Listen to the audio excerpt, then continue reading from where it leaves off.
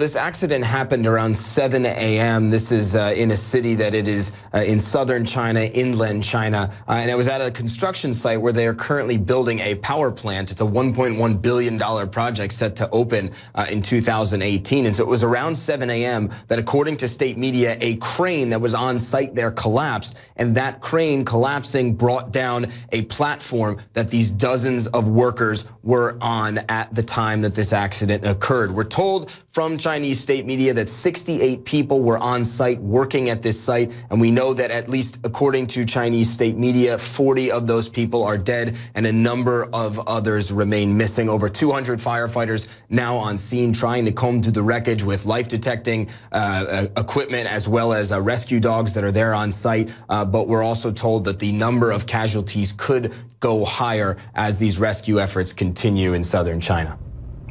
Yeah, very sad indeed. And Matt, China suffered a series of major industrial accidents in recent months.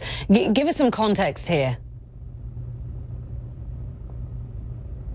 Well, unfortunately, these kind of reports are all too common here in China. I have some numbers that are really just startling. Uh, according to China's State Administration of Work Safety, in the first half of 2016 alone, just from January to June, there has been 14,136 deaths uh, in industry uh, accidents, work site accidents, and that is out of a total of 23,534 uh, cases uh, where accidents occurred. So it really is a very, very high number. And Isha, we've seen these for ourselves. I mean, it was just this morning that I walked out of my apartment and there was a man welding without a mask on. And that's the kind of thing that you see all the time. We're in factories pretty frequently where you see people operating heavy machinery without any type of safety gear on. Workplace safety still very much an issue here in China, and it ends up causing the deaths, the needless deaths of thousands of workers each year.